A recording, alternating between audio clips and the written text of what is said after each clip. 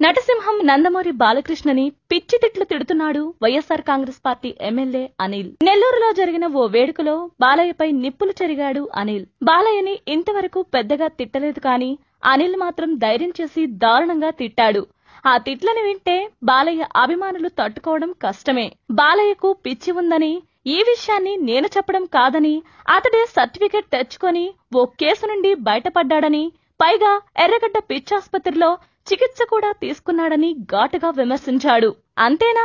ఒక మహానుభావుడి కడుపున ఎలాంటివాడు పుట్టకూడదో దానికి ఉదాహరణ బాలకృష్ణ.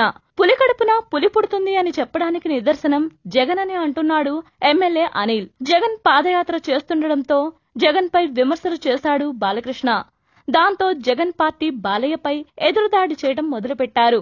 అయితే ఎమ్మెల్యే అనిల్ ఏకంగా బాలయ్యపై దారుణమైన కామెంట్స్ చేయడం మాత్రం సంచలనం సృష్టిస్తున్నాయి.